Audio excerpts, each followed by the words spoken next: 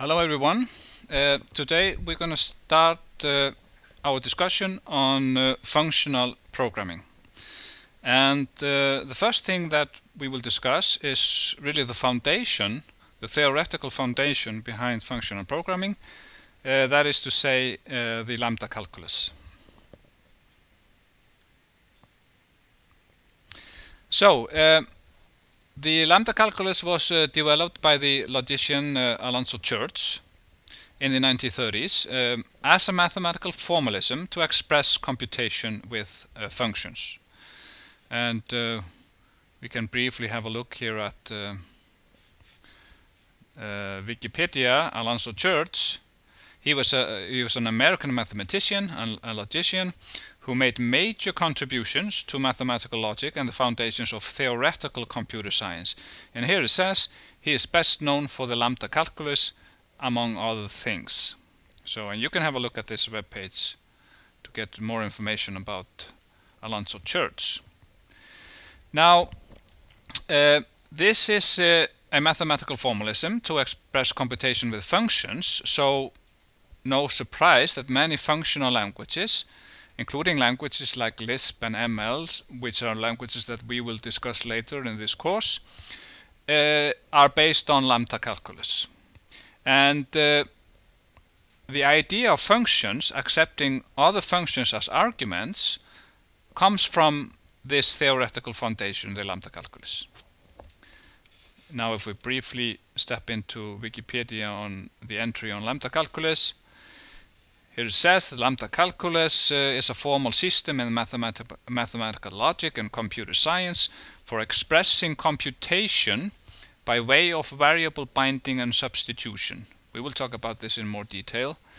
First formulated by Alonzo Church, lambda calculus found early successes in the area of computability theory and so on. Uh, Later it says lambda calculus has played an important role in the development of the theory of programming languages.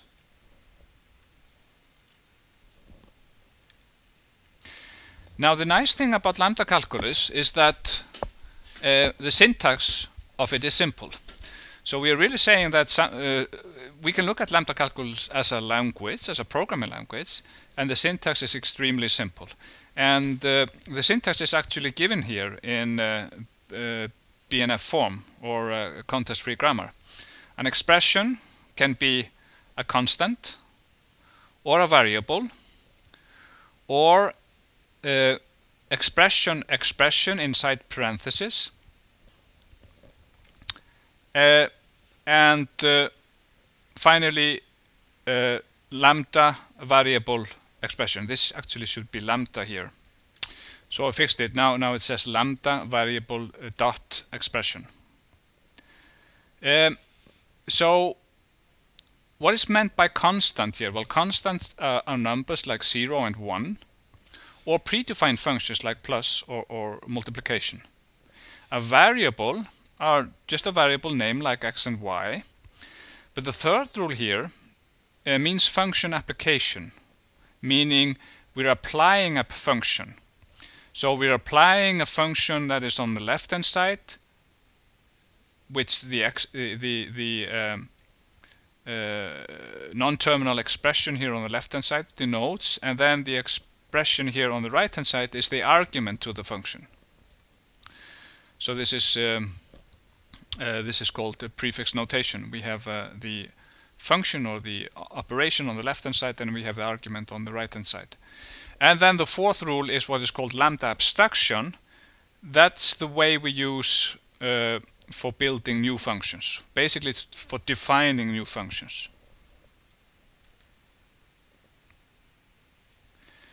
So if we look at the lambda abstraction and we look at uh, here one example, uh, lambda x dot and then we have um, plus 1 inside parentheses and then we have x.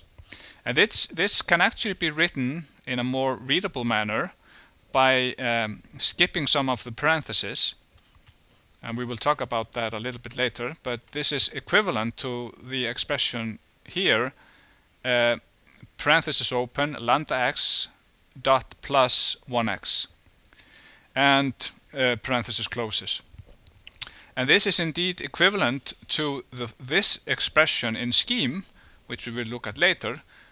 There's, there's a specific expression in scheme, lambda expression, that has the syntax lambda x, parenthesis open, plus 1x, parenthesis closes, which is a way of defining a function which uh, accepts one argument.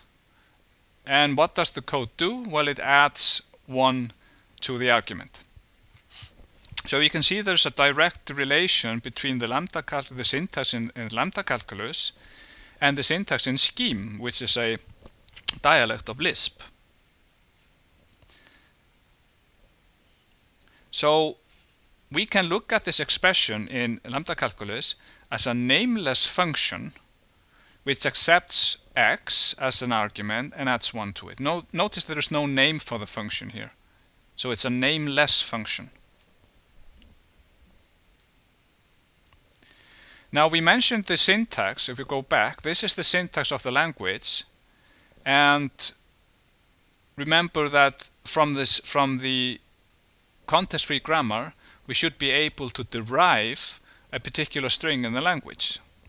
And we set we put forth here that this particular string was in the language. And how can we prove that? Well, we can prove it by using a derivation, as we have looked at uh, in earlier lectures. We have to derive this particular string from the uh, start symbol of the grammar. And we can do that here. So if we start with the go back here, we start with the uh, uh, fourth rule here that an expression can be a lambda uh, abstraction. Then we have an expression can be a lambda variable dot expression. And uh, if we, let's say we, we're applying a leftmost derivation here, then the uh, the non-terminal variable is the one that we're gonna uh, uh, look at next or expand, and we can use an x for the variable. So this non-terminal variable becomes the terminal x.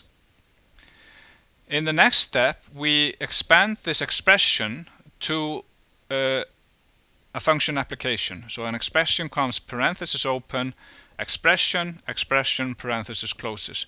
And that's according to the third rule here. An expression can be uh, a function application the third rule. What do we do in the next step? Well, we take the, we're doing leftmost derivation, so we expand the non-terminal that is uh, the leftmost non-terminal, that's the one, uh, the first expression here, and we apply this rule recursively, so that expression becomes again a function application. So the leftmost expression becomes uh, expression expression in, inside parentheses. Then, once again, leftmost uh, derivation. What can expression be? Well, expression can be a constant, according to the first rule of the syntax. And the second uh, expression can be a constant as well. I'm basically doing two steps here in one. Then we look at uh, the, the, the non-terminal that is uh, leftmost, that's the constant here, and that becomes plus. And the second constant becomes 1. So remember that we we said about constants. Constants are numbers like 0 and 1 or predefined functions like plus or multiplication.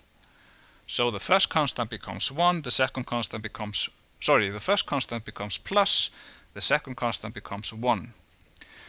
Now, in the next step, we expand expression to a variable, and then finally we expand the variable to an x.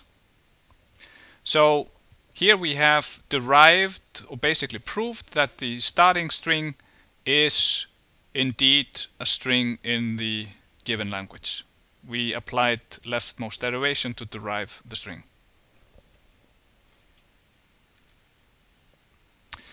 Now, if we go back first here, uh, this string that we derived is uh, what we called lambda abstraction according to the fourth rule. this is something that we use for building new functions. Now, since this is a function definition, there's no surprise that we can actually apply the function by uh, supplying it with an argument. So that's what we're doing in the next step here. We're supplying the function with the argument 2. Now if we drop the make it a little bit readable by dropping parentheses, we said earlier that the uh, lambda abstraction is equivalent to just lambda x dot plus 1x. And then we send 2 or apply this function uh, with the argument 2. So basically what we're doing, we're calling this function with this argument. So when that happens, we send 2 into the function. We can look at it this way. Then we drop the lambda because now it's not anymore a, a lambda abstraction but a, a but a function application. So we drop the lambda and we substitute the argument for all the instances of the x. So that will result in the expression plus 1, 2, because our argument, which is 2, is put in, is substituted for all the occurrences of x, and we drop the lambda term. So that's why we get plus 1, 2, and then when we evaluate that, we get 3, because we're just uh, adding 1 to 2. And notice this form here, as I said earlier, this is prefix form, where the operator comes before the operands. Prefix. Now, in some cases, we need parentheses just to eliminate ambiguity. So if we have complex expressions, we might need the um, parentheses to, to, to eliminate uh, possible ambiguities. Um, and according to the syntax as we saw earlier, this expression uh,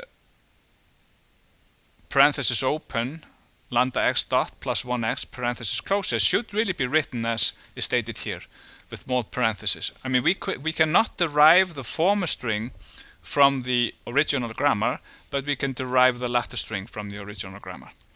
But to increase the readability, we often omit parentheses if there is no ambiguity that results from it. So in, in our case, there is no ambiguity that results from dropping parentheses from the latter string, which results in the uh, expression in the in the uh, in the uh, sorry. The, there is no ambiguity from dropping parentheses in this latter string, yes, uh, resulting in the expression in the in the former string.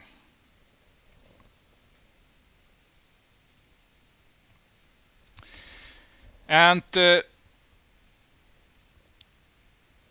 the basic operations of lambda calculus is really the application of expressions or application of functions. So here we have this uh, uh, example or actually a little bit different. Here we had a function that adds 1 to its argument here we have a function that also adds once to its argument, but the uh, the the argument is uh, comes before the constant, whereas in the previous function the argument comes after the constant. But of course the result is the same. So when we send 2 to this function, it equals plus 2, 1. And what are we doing? We're substituting the x for 2 and throwing the lambda away. So we are, this is just really applying the function with the argument 2. And historically this is, this is called beta conversion. Beta conversion. Now, uh, if we look at variables in, in lambda calculus, um, we say that a variable in an expression that looks like this, lambda x dot e, where e stands for an arbitrary expression, uh, the variable x is said to be bound by the lambda. It's bound by the lambda. And the scope of the binding is the, is the expression itself, the expression e. Uh, but we can also have unbound variables, and in that case they are said to be free. So if we look at this example, we have lambda x plus xy. the x so notice what the what is the expression is plus xy. That's our expression e up here. It's plus xy. And the x is bound. The x is bound by the lambda whereas the y is free. There's nothing in this uh, lambda abstraction that bounds the y so the y is free whereas the x is bound by the lambda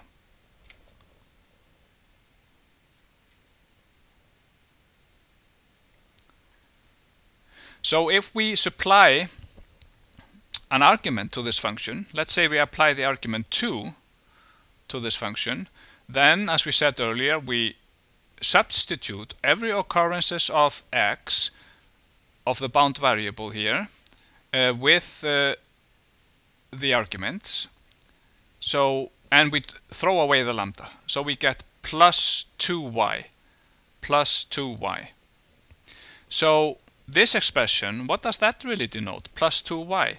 Well, it, it is a, a function plus that accepts two arguments, uh, the constant 2 and y. But y is really like a non-local reference in this function.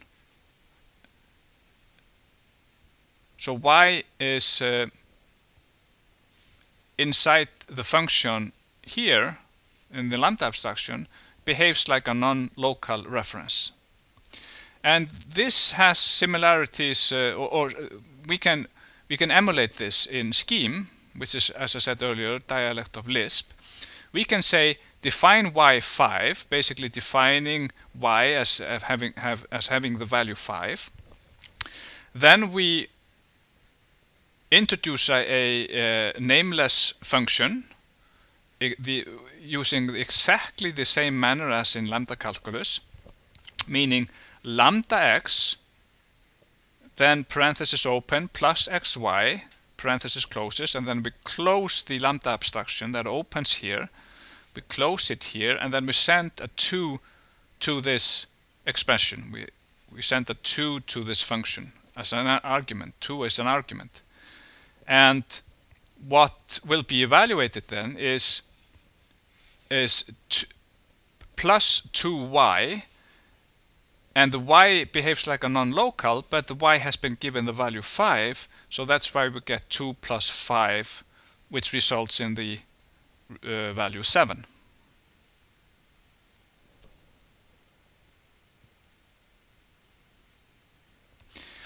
Now it's also important to realize that the same variable can appear many times in different contexts, and some instances of the variable may be bound, whereas others may be free. So if we look at another example here, quite a complex uh, uh, lambda uh, calculus expression, uh, if we try to understand what's happening here, we have a lambda abstraction here, lambda x uh, uh, star xy, where star means multiplication, and then 2 is sent as an argument to that function. Now, when sending 2 as an argument to the function, we will get some result, and that result becomes uh, the body of the lambda abstraction here, lambda y something and then x is sent as a parameter to that function, and so on. So the, the first x here, after the multiplication operator, is bound by a different lambda than the outer x. Uh, this x here is bound by the lambda x here, whereas whereas the x here, this outer x, is bound by the lambda x at the beginning of the expression. And then the first instance of y here is bound by the lambda y to the left here, whereas this y here is free. It's not bound by by any lambda. So you can see that you know the the same variable name can appear many times and some instances of it may be bound while others may uh, be free.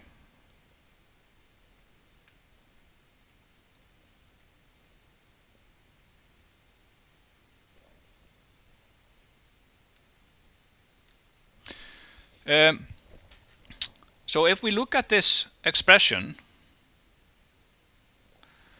let's try to simplify it using uh, beta con conversion, basically uh, doing substitution. So let me go into some uh, editor here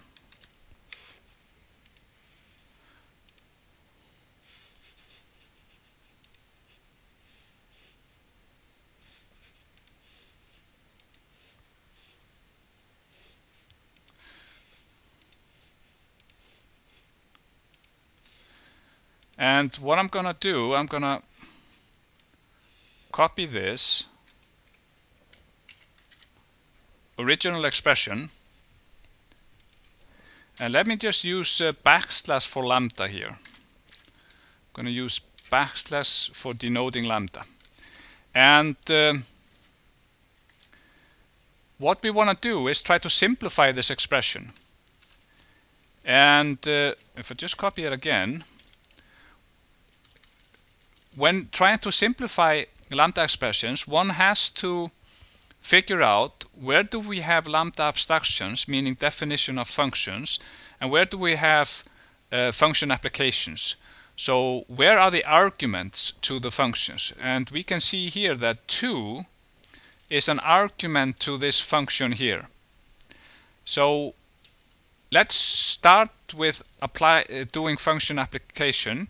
That means that we substitute the 2 sorry we substitute the x with the argument 2 and we drop the lambda. So basically we drop the lambda so we remove this part. Notice that I'm removing the parentheses as well that start the lambda abstraction. And every time that we have an x in this expression I put 2 instead well, that means, of course, I have to remove the argument and the closing parenthesis. So this is what I have as a second step.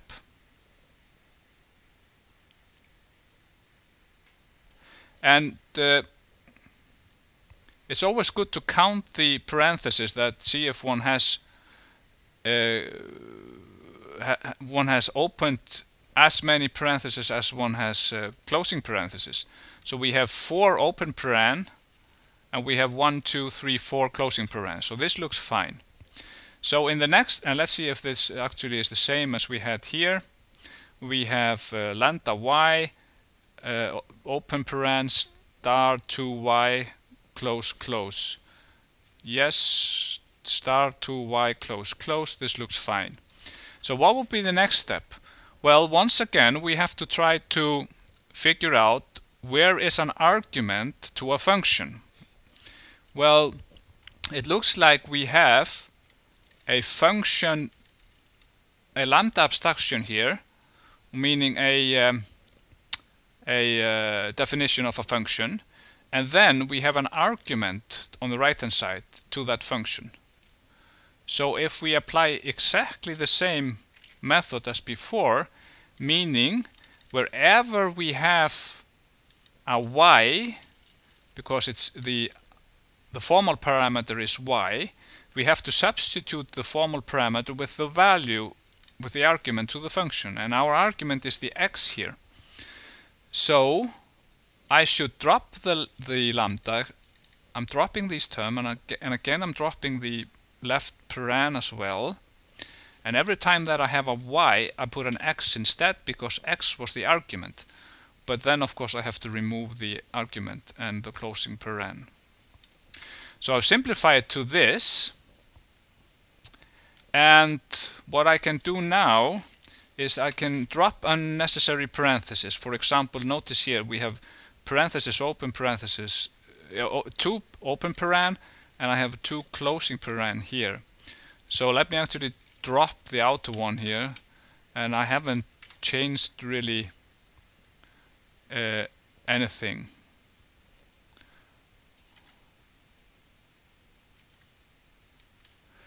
So this is what I end up with? I have a lambda expression. I have a lambda uh, abstraction here. This is a function definition. It is a function that multiplies its argument with 2. We can see that the formal parameter is x. So whenever I will call this function, I will substitute the x with that value. So this is a function that multiplies its argument with 2. That's this part here. And then adds a y to that result. And the y is a non-local reference. The y is a non-local reference. So it's basically doing this 2 times x plus y. And notice that the y is free. y is not bound by the lambda. So y is in a non-local.